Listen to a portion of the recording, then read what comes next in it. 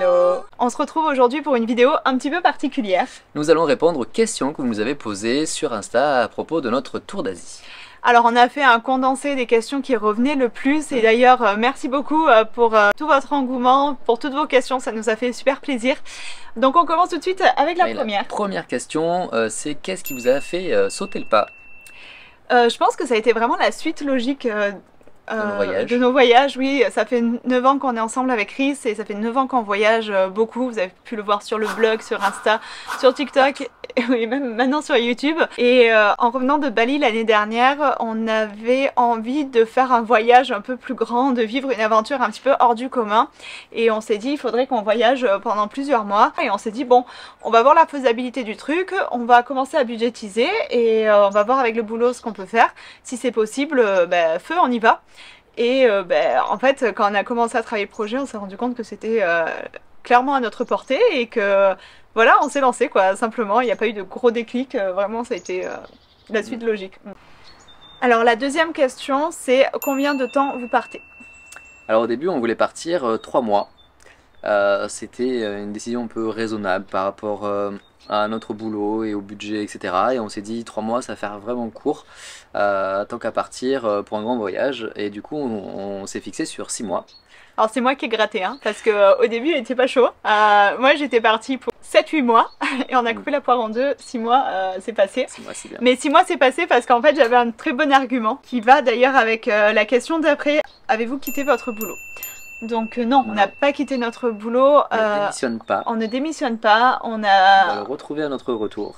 On a opté pour le congé sabbatique. Du coup, c'est du légal. Je, laisse euh, Chris expliquer ça parce qu'il explique merveilleusement bien. Ce qui est génial, en tout cas en France, je ne sais pas si ça existe dans d'autres pays, c'est à partir de 6 ans d'ancienneté dans une entreprise privée. On peut demander un congé sabbatique. Donc, bah, c'est une période, on va dire, sans solde. on n'a pas, pas de salaire et c'est une période de minimum 6 mois. Et ça peut aller jusqu'à 11. Et euh, un congé sabbatique, c'est, euh, en tout cas quand on rentre dans les critères, c'est quand même beaucoup plus simple à avoir qu'un congé sans solde. Et euh, comme c'est une période minimum de 6 mois, du coup ça m'a aidé à convaincre Chris de faire ces 6 mois. On a budgétisé, on a vu que, que ça passait. On a décidé de faire 6 mois et pas 11 parce qu'on a envie de voyager assez confortablement. Et du coup on s'est dit que valait mieux qu'on voyage 6 mois avec un bon budget plutôt que 11 euh, mois avec un budget du coup plus serré puisque le budget là on n'aurait pas pu euh, l'agrandir on va dire. Puisqu'on parle budget, euh, la question qui est très souvent revenue... très très très souvent oui. ça intéresse beaucoup de monde. Quel budget avez-vous pour vos 6 mois? On a prévu un budget maximum, un budget qu'on a plafonné à 40 000 euros pour nous deux. Honnêtement, je pense que euh, c'est un budget qui est très large pour, euh, pour 6 mois en Asie. Et le but, c'est pas de dépenser ces 40 000 euros. Le but, c'est euh, bah, de voyager, comme on vous disait, confortablement. Et forcément, si on dépense moins, bah, c'est mieux. Ouais, c'est pas plus mal. Et on rentrera avec, en gardant nos, nos, économies. Du coup, ça va avec la question qui revient également, c'est comment financez-vous ces 6 mois de voyage? Ben, on a travaillé. Honnêtement, on a depuis des années toujours mis de côté, on s'est dit que ça nous servirait pour un plus grand projet, etc.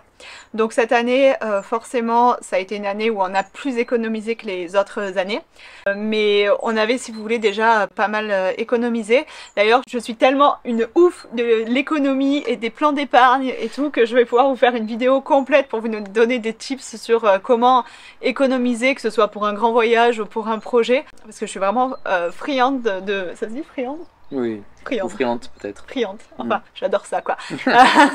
non mais je suis toujours plein de tableurs, de machin. Avec Chris, quand on a commencé à réfléchir à ça, je lui ai dit ok, euh, je peux économiser ça, ça, ça. J'ai réussi à économiser euh, sur toute cette année à peu près 40% de mon salaire. Je pense que mes conseils pourront vous servir et je vous ferai ça dans, notre, dans une autre vidéo.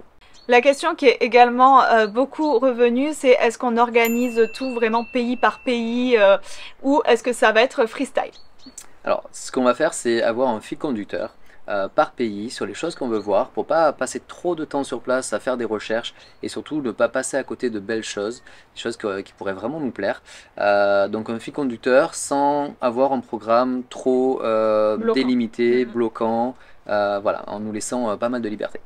Bah, contrairement à quand on part en voyage où tout est réservé, on va dire, à l'avance, euh, là, euh, s'il y a un endroit qui nous plaît, qu'on a envie de rester deux jours, trois jours, euh, une semaine de plus, ben, on va pouvoir le faire. Et à, contrario, s'il y a un endroit qui nous plaît pas, eh ben, on se tire, quoi. on se casse. Et ça nous emmène à la question suivante qui est quel est votre itinéraire? Alors l'itinéraire a été bah, du coup fait par, le, par le climat aussi, c'est pour ça qu'on part sur les six premiers mois de l'année. c'est la bonne saison en Asie et surtout en Asie du Sud-Est. On commence par notre pays coup de cœur qui est la Thaïlande. Euh, janvier c'est vraiment le super mois euh, pour visiter euh, le pays. donc on devrait y passer à peu près un mois.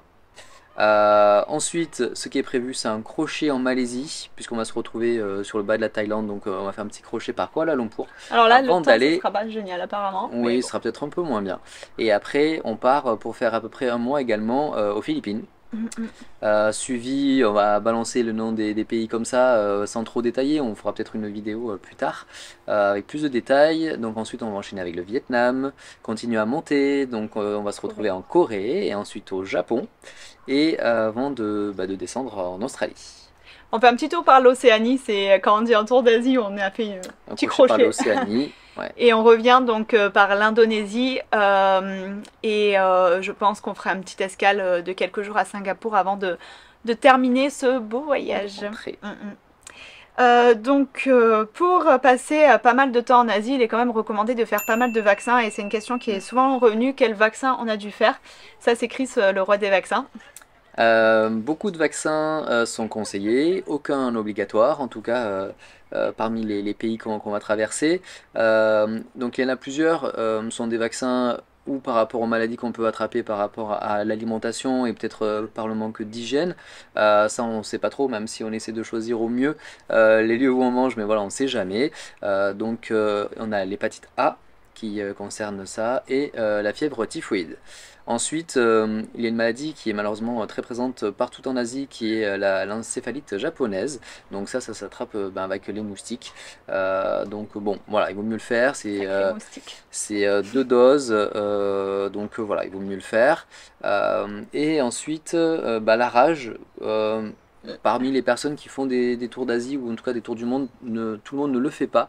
Mais euh, ce qui est très contraignant, c'est que si malheureusement on se fait mordre, euh, nous devons faire 5 doses de vaccin espacées euh, d'un mois, espacées de 28 après jours. Après la morsure. Après la morsure. Et la première doit être faite 24 heures, heures après la morsure. Et honnêtement, selon où vous êtes en Asie, 24 heures, ça peut être vraiment chaud de rejoindre un, point. Centre de vaccination, un hôpital, une clinique. Alors après, évidemment, pas tous les animaux sont porteurs de la rage euh, en Asie, donc il peut avoir des morsures et euh, vous n'êtes pas du tout contaminé. Mais euh, le gros problème avec cette maladie, c'est que si les symptômes se déclenchent, ben, vous êtes mort en fait. Il y a zéro chance de survie.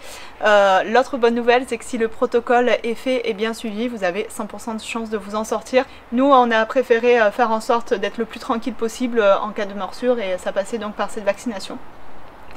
Et du coup, euh, en parlant d'animaux, ça nous emmène à une question qui est, euh, pas mal revenue également, c'est euh, est-ce qu'on emmène notre chien avec nous? Est-ce qu'on emmène Phoebe avec nous? Non, Phoebe va rester chez mes parents. Quand j'ai eu Phoebe, j'avais 18 ans, donc à cette époque je vivais chez mes parents, donc c'est un endroit qui est très familier pour elle. ils nous gardent la chienne à chaque voyage, donc on a la chance de pouvoir la laisser pendant ces 6 mois. Mais euh, franchement, je pars un petit peu le, cœur mm. lourd euh, de la laisser, honnêtement. Et la dernière question, c'était euh, qu'est-ce qu'on emporte avec nous? On ne sait pas trop encore. Mhm. On a choisi le sac. On a choisi le sac, c'est déjà pas mal. on a longuement hésité entre deux sacs de la marque Osprey. on fera une vidéo comparative entre ces deux sacs-là, mais en tout cas, les deux sont des sacs hybrides. Donc ce sont des sacs à dos roule. Oui, c'est ça. En fait, euh, on voulait vraiment un sac euh, qu'on peut traîner, enfin qu'on peut tirer, qu'on peut faire rouler. Euh, mais on sait que dans certains moments en Asie, c'est quand même beaucoup plus pratique d'avoir des sacs à dos. Petit exemple pour vous donner du concret, quand vous visitez certaines îles, l'embarcadère se fait vraiment les pieds dans l'eau. Hein. Vous, vous passez par la plage. Hmm. donc là, une valise, c'est quand même c'est pas du tout confortable. Donc l'avantage de cette valise, euh, ou de ce sac, c'est que vous pouvez le transformer de valise à, sac à dos. Donc c'est vraiment ça qu'on recherchait. Il fait 85 litres mm. et c'est le seul sac qu'on aura en soute. Ensuite, on va partir avec deux sacs de cabine de 35 euh, non, pardon, de 35 et 40 ouais, 40, voilà, 35-40 litres. Le but, en fait, d'avoir qu'un seul bagage en soute, c'était de pas à chaque fois repayer un bagage en soute supplémentaire à chaque petit vol parce que, ben, mine de rien, ça peut vite faire euh, augmenter le budget et euh, au final, est-ce qu'on aurait vraiment eu besoin de deux sacs On ne pense pas. À chaque fois qu'on lit des témoignages de personnes qui ont mm, fait euh, des tours du monde, des tours d'Asie, quand on leur demande qu'est-ce qu'ils auraient changé, c'était euh, ils prendraient moins d'affaires. Donc mm. on a essayé de s'inspirer vraiment de ceux qui l'avaient fait avant nous euh, pour, pour avoir vraiment un, sac le plus optimisé possible.